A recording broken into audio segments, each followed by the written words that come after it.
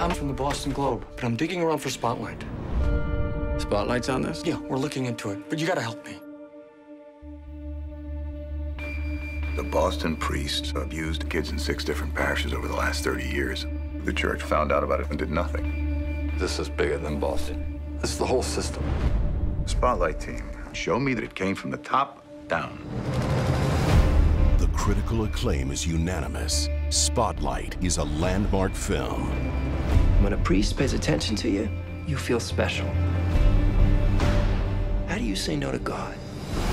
Rolling Stone gives it four stars. Why aren't there any records? They control everything. Time magazine calls it an emotional tour de force. If there were 90 priests, people would know. They knew, and they let it happen. And Newsweek hails. Spotlight is by far the best movie this year. We're going to tell this story. We're going to tell it right. Spotlight, rated R. Now playing in select theaters.